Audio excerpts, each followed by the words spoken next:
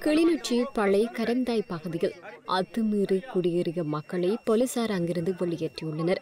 கரந்தாய் பகுதியில் அத்துமீறிய குடியேற்றத்திற்கு கிளிநொச்சி நீதிமன்றம் நேற்று தடை உத்தரவு பிறப்பித்திருந்தது. இதனை அடுத்து இன்று மக்களை அங்கிருந்து போலீசார் வெளியேற்றியுள்ளனர்.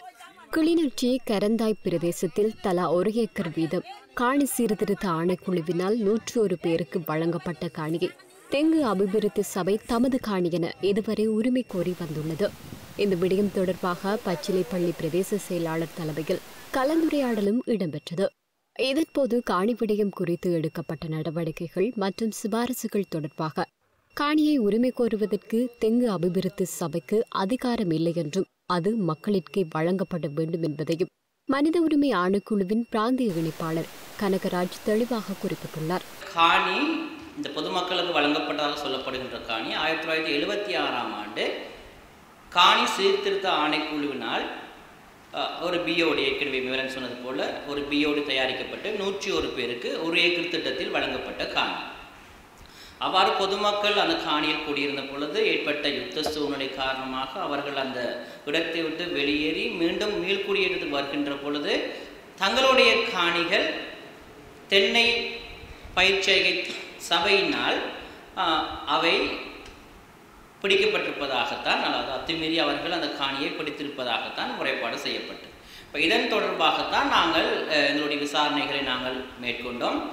இதனுடைய பல ஆவணங்கள் பொதுமக்களுக்கு காணி சீர்திருத்த ஆணைக்குழுவினால் வழங்கப்பட்ட ஆவணங்கள் அதே நேரம் அந்த பிஓடின்னு சொல்லப்படுகின்ற ஆவணம் பல நீதிமன்றத்திலே ஒரு வழக்கு தாக்கல் செய்யப்பட்ட அந்த நீதிமன்றத்திலே வழக்கு தள்ளுபடி செய்யப்பட்ட அந்த தீர்ப்பு என்பனவற்றையெல்லாம் அடிப்படையாக கொண்டு நாங்கள் காணி சீர்திருத்த ஆணைக்குழுவுக்கு நாங்கள் எங்களுடைய பரிந்துரையை வழங்கியிருந்தோம். அவை ஏன் ஏற்கனவே பிரதேச செயலாளர் சொன்னது போல நாங்கள் ஏன் நாங்கள் வழங்கினது என்று சொன்னால் எந்த ஒரு இடத்திலும் எந்த ஒரு ஆவணத்திலும் காணி சீர்திருத்த ஆணைக்குழு தென்னை பயிர் சகி- சபைக்கு காணி வழங்கியதாக எந்த ஒரு இடத்திலும் ஆவணம் இல்லைங்கிறது விசாரணையில் கண்டறியப்படவில்லை.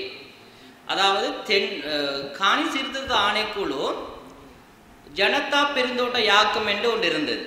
அவர்களுக்கு தான் காணியை வழங்கியிருந்தார்கள்.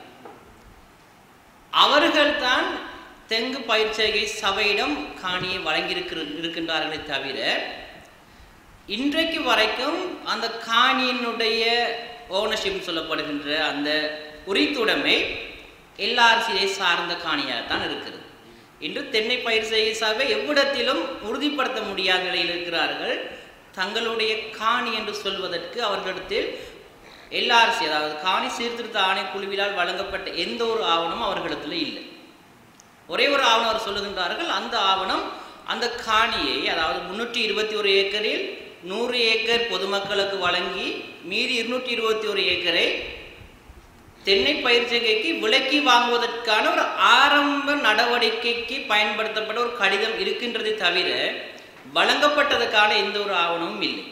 இந்த காணி விடயம் குறித்து கிளிநொச்சி மாவட்ட அபிவிருத்தி குழு கூட்டங்களிலும் பலமுறை பேசப்பட்ட போதிலும் எதுவித முன்னேற்றமும் ஏற்பட்டிருக்கவில்லை. அத்தோடு யாழ் மனித உரிமை ஆணைக்குழுவில் பாதிக்கப்பட்ட மக்கள் சார்பில் முறைப்பாடு பதிவு செய்யப்பட்டுள்ளது.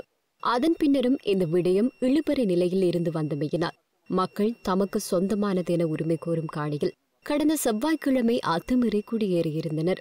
இதனையடுத்து பளை கரந்தாய் பகுதியில் அத்துமீறிய குடியேற்றத்திற்கு கிளிநொச்சி நீதிமன்றம் தடை உத்தரவு பிறப்பித்திருந்தது. அத்துடன் காணி உரிமம் உள்ளோரை ஆவணங்களுடன் எதிர்வரும் முப்பதாம் திகதி நீதிமன்றில் முன்னிலையாகுமாறு நீதிமன்றம் கட்டளையிட்டிருந்தமை குறிப்பிடத்தக்கது.